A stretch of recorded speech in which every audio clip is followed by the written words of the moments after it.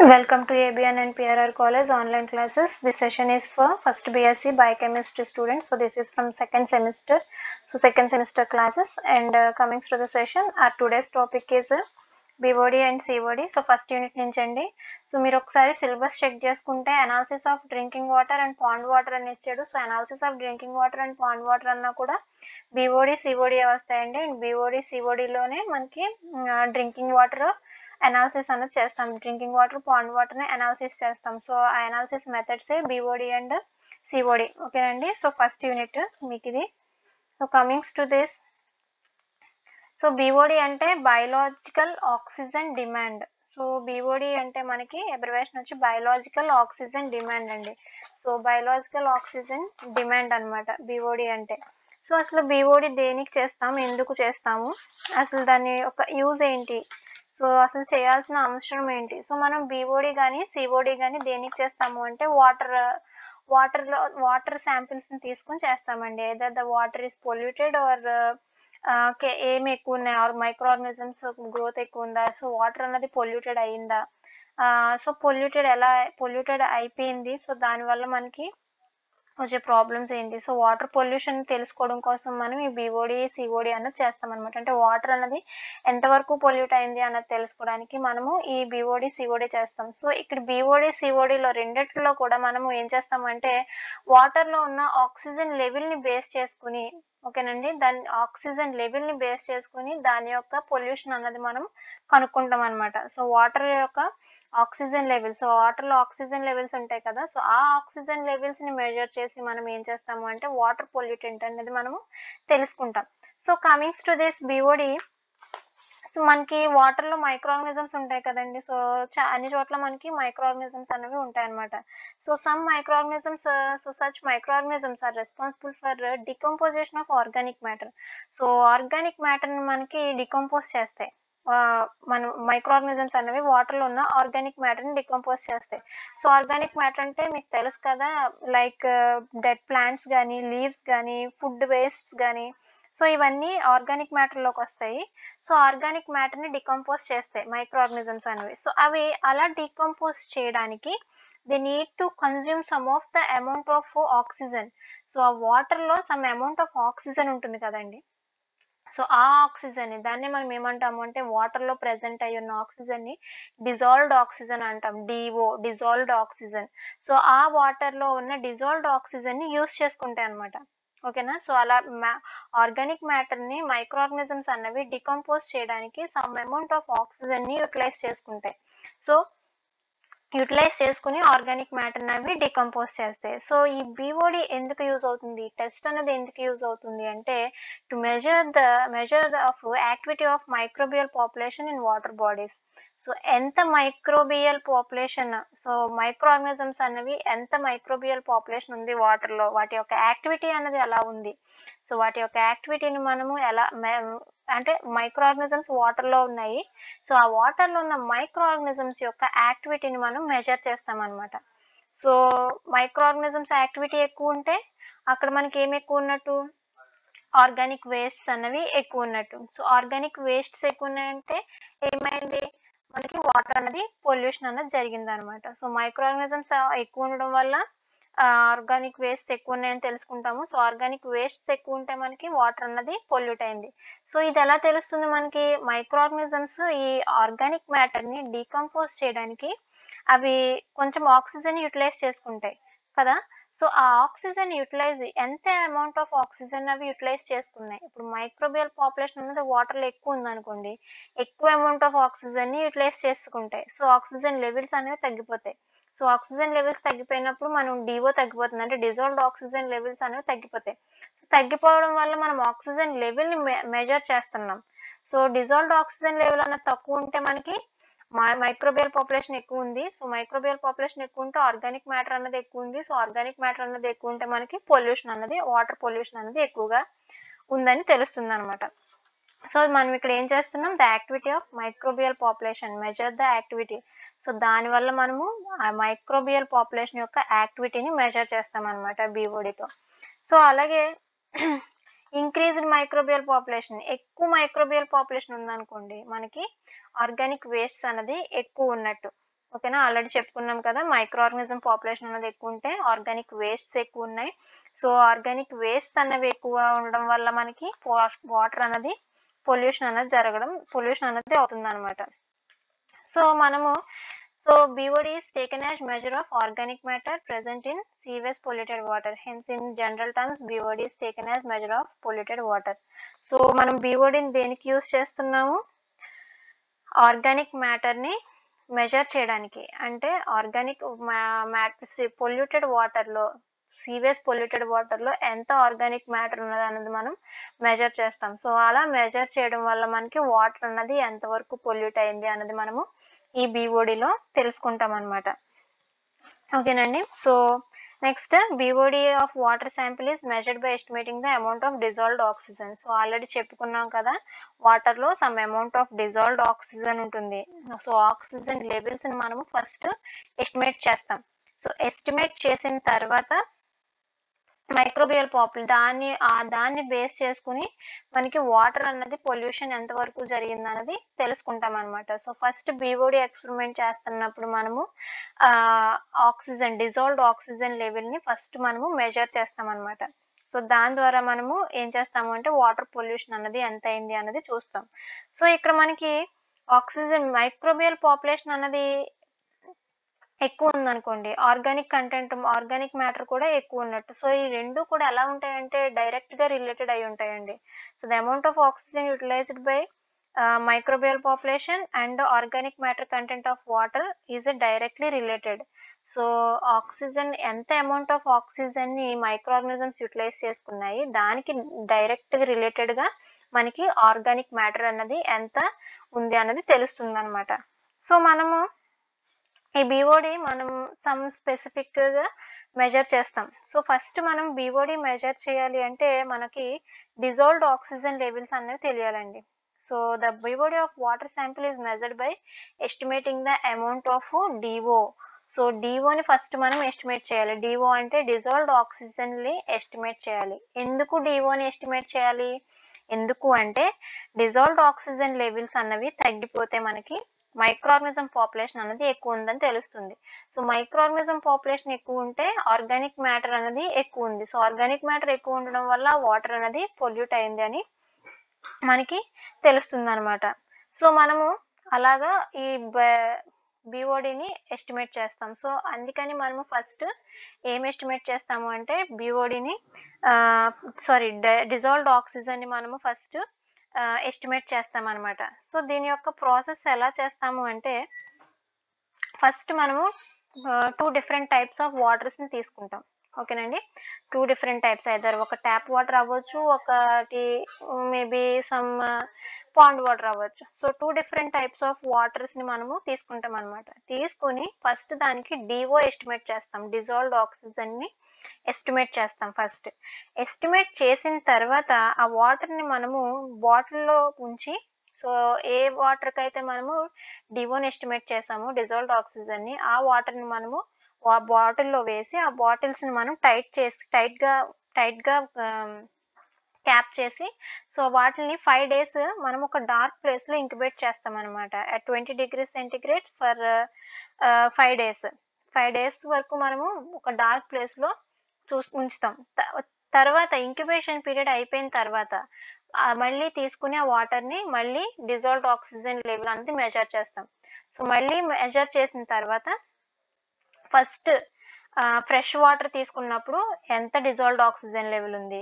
తర్వాత మళ్ళీ ఇంక్యుబేట్ చేసిన తర్వాత డిజాల్వ్డ్ ఆక్సిజన్ లెవెల్ ఎంత ఉంది? సో రెండిటిని మనము కంపేర్ చేసుకుంటాం అనమాట సో కంపేర్ చేసుకుని మనకి the different of the difference in the amount of DO in water sample before and after incubation so before after incubation మనము చూస్తాం అనమాట డిఓని సో ఫైనల్గా ఇంక్యుబేషన్ తర్వాత తీసుకున్నది మనకి బీఓడి కింద వాటర్ శాంపిల్ బీఓడి కింద మనము కౌంట్ చేస్తాం అనమాట ఓకేనండి సో రెండు కంపేర్ చేసుకుని మనకి ఎంత డిజాల్వ్డ్ ఆక్సిజన్ అన్నది ఉంది. సో దాన్ని బట్టి మనము ఆ వాటర్ యొక్క బిఓడి లెవెల్ అన్నది మనము ఎస్టిమేషన్ అనేది చేస్తాం అనమాట ఓకేనా so this is BOD biological oxygen demand so microbial population బట్టి డిజాల్వ్డ్ ఆక్సిజన్ని ఎంతవరకు ఉంది వాటర్లో దాన్ని బట్టి మైక్రోబియల్ పాపులేషన్ ఎంత ఉంది? సో మైక్రోబియల్ పాపులేషన్ అనేది ఎక్కువ ఉంటే మనకి ఆర్గానిక్ మ్యాటర్ వేస్ట్స్ అనేవి ఎక్కువ ఉన్నాయి. So organic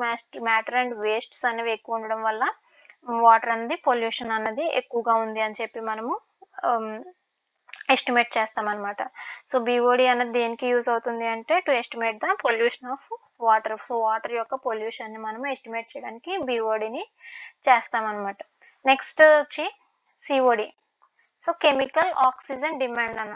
chemical oxygen demand BOD అంటే biological oxygen demand and COD అంటే కెమికల్ ఆక్సిజన్ డిమాండ్ సో బిఓడిలో మనకి మైక్రో ఆర్గనిజమ్స్ యొక్క యాక్టివిటీని బట్టి మనం eh, పొల్యూషన్ అనేది మెజర్ చేయగలిగాం. ఇక్కడ ఏంటి అంటే with the help of chemicals so chemicals ఒక రియాక్షన్లో జరిగే దా అంటే ఒక రియాక్షన్ అనేది జరుగుతున్నప్పుడు దాంట్లో ఎంత అమౌంట్ ఆఫ్ ఆక్సిజన్ అనేది కన్జ్యూమ్ అయింది?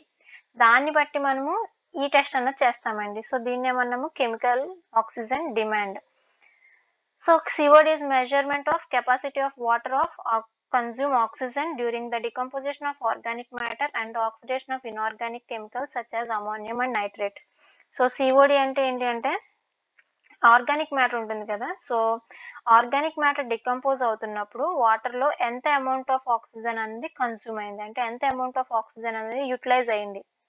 ఓకేనా సో అలా యూటిలైజ్ అయినప్పుడు మనకి ఆక్సిడేషన్ ఆఫ్ ఇనార్ ఇనార్గానిక్ ఇనార్గానిక్ కెమికల్స్ని ఆక్సిడైజ్ చేయడానికి డికంపోజిషన్ జరుగుతున్నప్పుడు ఎంత అమౌంట్ ఆఫ్ ఆక్సిజన్ అనేది మనకి యూటిలైజ్ అయింది? ఓకేనా సో అక్కడ ఏమైంది?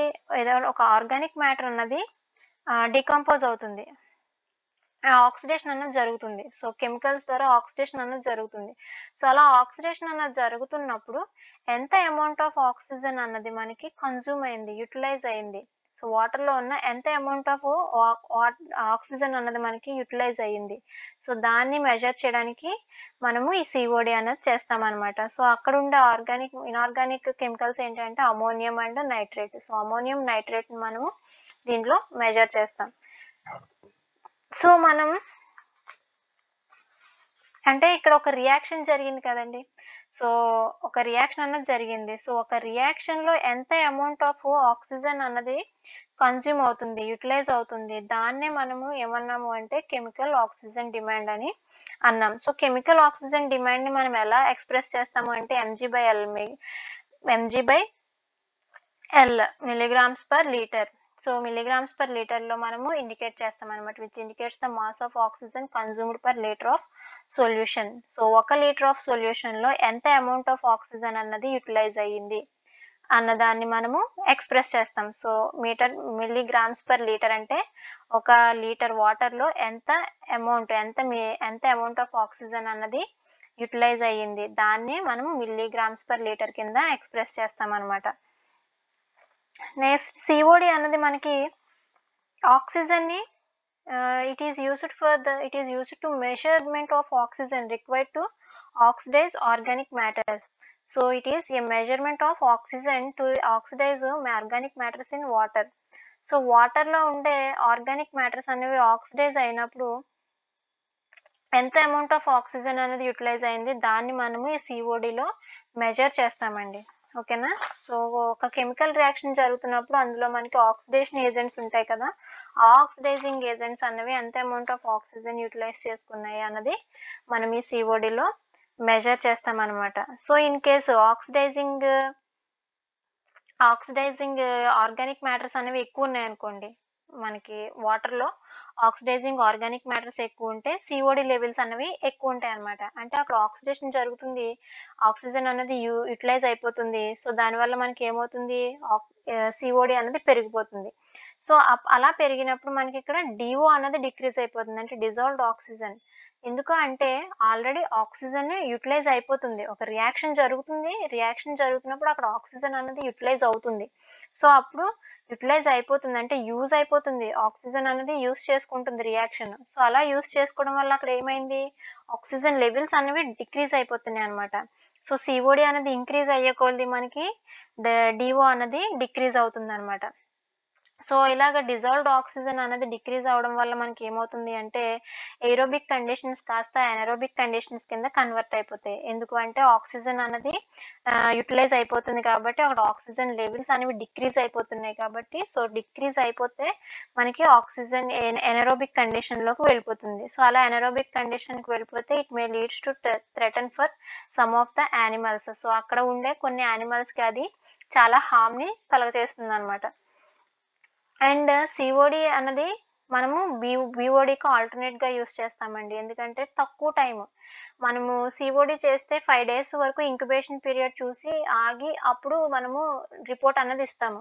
కానీ సిఓడి అన్నది వెంటనే ఎక్కువ టైం పట్టకుండా మనము తీసుకు ఎక్కువ టైం అనేది పట్టదనమాట సిఓడికి so it is an alternative method for BOD బీఓడికి ఒక ఆల్టర్నేట్ మెథడ్ అనమాట సో మనం సిఓడిలో కామన్గా ఏం మెజర్ చేస్తాము అంటే వాటర్ యొక్క వాటర్ శాంపిల్ యొక్క వేస్ట్ సో శాంపిల్లో ఎంత వేస్ట్ అన్నది ఉంది అన్నది మనము సిఓడిలో మెజర్ చేస్తామనమాట ఓకేనండి? సో ఎంతవరకు కంటామినేషన్ అన్నది జరిగింది? వాటర్ అన్నది ఎంతవరకు కంటామినేట్ అయింది అన్నది మనం ఈ సిఓడిలో మెజర్ చేస్తాం. So COD is measured as a standardize laboratory assay in which a closed water sample is incubated with a strong chemical oxidant under specific conditions of temperature and for particular time so COD ఎలా measure చేస్తాము అంటే water sample తీసుకుంటాం కదండి. So ఆ water శాంపిల్లో మనం ఏం చేస్తామంటే strong chemical oxidant so ఒక ఆక్సిడెంట్ని యాడ్ చేస్తాం chemical oxidant this oxidant can act as oxidizing agent so oxidizing agent కింద మనకి యూజ్ అవుతుంది. సో అది ఏమవుతుంది అంటే ఆక్సిడేషన్ అనేది చేస్తుంది అనమాట సో ఇక్కడ మనము వాటర్లో ఒక స్ట్రాంగ్ కెమికల్ ఆక్సిడెంట్ని యాడ్ చేస్తాం. యాడ్ చేసి దాన్ని మనం ఏం చేస్తాము అంటే స్పెసిఫిక్ టెంపరేచర్ దగ్గర పర్టికులర్ టెంపరేచర్ uh, దగ్గర మనం ఉంచి దాన్ని ఒక పర్టికులర్ టైం పీరియడ్ వరకు దాన్ని అబ్జర్వ్ చేస్తాం అనమాట సో ఇక్కడ సో అలా అబ్జర్వ్ చేసినప్పుడు దాని యొక్క మెజర్మెంట్స్ అనేవి మనం తీసుకుంటాం. సో ఫస్ట్ ఎంత ఉంది? ఫైనల్గా మనకి డివో అన్నది సో ఫస్ట్ ఎంత వరకు ఉంది? నెక్స్ట్ లెవెల్ వరకు ఎంత ఉంది అనేది మనం మెజర్మెంట్స్ అనేది తీసుకుంటాం. సో ఇక్కడ మనకి ఆక్సిడెంట్ ఏం యూస్ చేస్తామంటే పొటాషియం డైక్రోమేట్ని యూస్ చేస్తామండి. ఈ పొటాషియం డైక్రోమేట్ని మనం స్ట్రాంగ్ కెమికల్ ఆక్సిడెంట్ కింద యూస్ చేస్తామన్నమాట. సో దీన్ని వాటర్లో వేసినప్పుడు కలర్ అనేది చేంజ్ అవుతుంది. సో కలర్ చేంజ్ని బట్టి మనము టైట్రేషన్స్ చేస్తున్నప్పుడు కలర్ చేంజెస్ని బట్టి మనము కెమికల్ ఆక్సిడెంట్ డిమాండ్ని మెజర్ చేస్తామన్నమాట. సో రెండు బిఓడి అండ్ సిఓడి రెండు కూడా దేనికి చేస్తాము అంటే మనము వాటర్ యొక్క పొల్యూషన్ ఎంతవరకు ఉంది? సో దాన్ని మనము మెజర్ చేస్తాం. అంటే వాటర్ని మనము ఎనాలిసిస్ చేస్తున్నాం అనమాట సో వాటర్ని ఎనాలిసిస్ చేసి దాని యొక్క డ్రింకింగ్ వాటర్కి కానీ పాండ్ వాటర్కి రెండు శాంపిల్స్ తీసుకుంటాం కదా. సో ఆ శాంపిల్స్కి వాటర్ పొల్యూషన్ అనేది ఎలా ఉంది అనేది మనము తెలుసుకోవడం కోసం బీఓడి కానీ సిఓడి కానీ చేస్తాం. So this is all about your class today అండి. సో బీఓడి అంటే ఏంటి? సిఓడి అంటే ఏంటి అన్నది ఇది నేను మీకు ఇంటర్నల్కి ఇవ్వడం జరిగింది.